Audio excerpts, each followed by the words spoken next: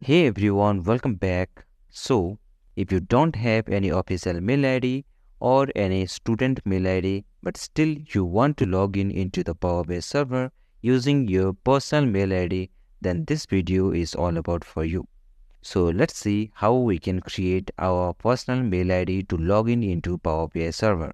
Okay. So for that, first of all, you have to go to the Google and here you have to search for Microsoft 365 developer. Okay. Then click enter.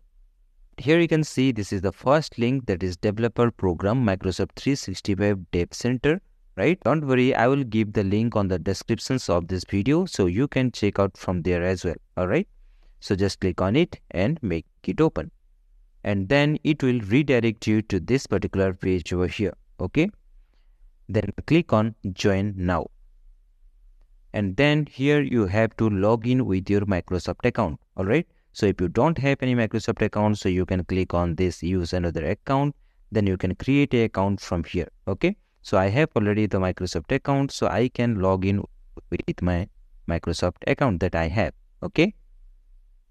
And then it will redirect you to this particular page. All right. Then the next step is here you have to fill the details.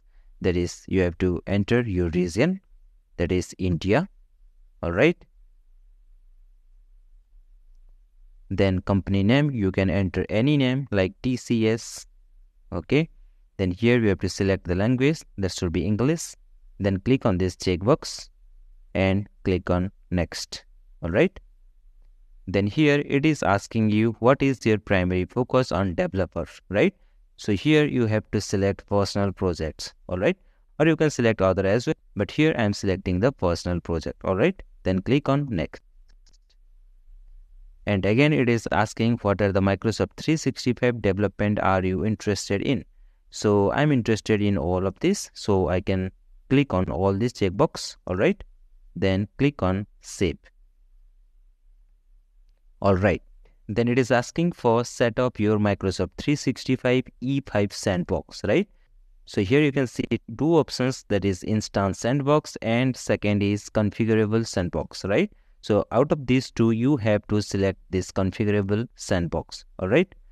Then click on next and here again you have to select the region that is India and here it is asking to create a username so you can give the any name so here I am entering my YouTube channel name that is milestone creator.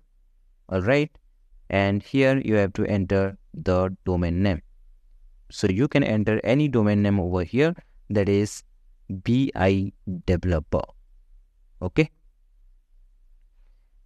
All right. So it's checking. And this domain name is already taken. It is saying so here I can enter 101 all right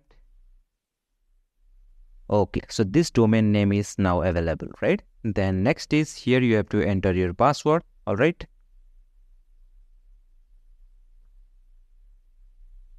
Same password here also you have to enter. Okay then click on continue. Then click on ok and here you have to enter the country code. Okay so my country code is 91 because it is india and here you have to enter your mobile number. Okay then click on send code. Then enter the code that you have received in your mobile phone. Then click on set up and wait for some time it is in progress mode. And it's done right congratulations you have successfully created the administrator mail id here right? So by the help of this mail id you can easily log in into your power bi server account all right? And this is valid for 92 days correct?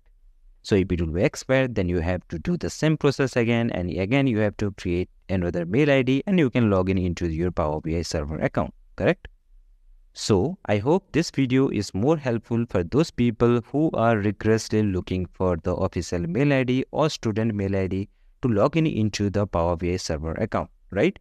So thanks for watching. Take care. Bye-bye.